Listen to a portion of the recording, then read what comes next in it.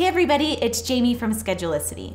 We offer two awesome options for adding Schedulicity to your website the Schedule Now button and the website widget.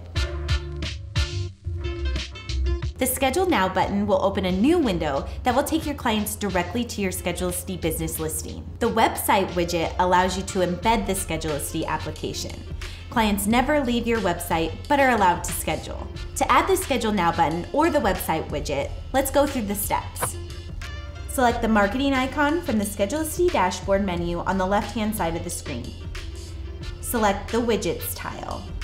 Choose either the Schedule Now button or the website widget. If you select the Schedule Now button, remember to choose the button size and specify if you'd like to change the color or the style of the button. If you select the website widget, choose which type of booking, service class, workshop, or offers you'd like to show first to your clients. This is listed as the default tab. Hit the Save button when you've made your choice. You'll then copy the code that is generated at the bottom of the Schedule Now button or the website scheduling widget option. From there, you'll need to log into your website interface where you edit the content of your website.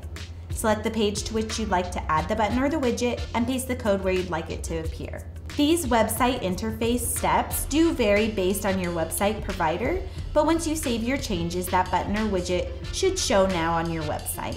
Now your clients have easy access to schedule their appointments. Let us know if you have any questions and feel free to reach out at support at schedulicity.com.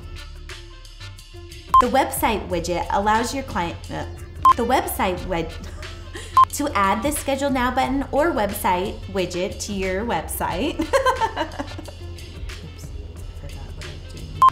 Oh, it's working. Yeah, it's working. Okay.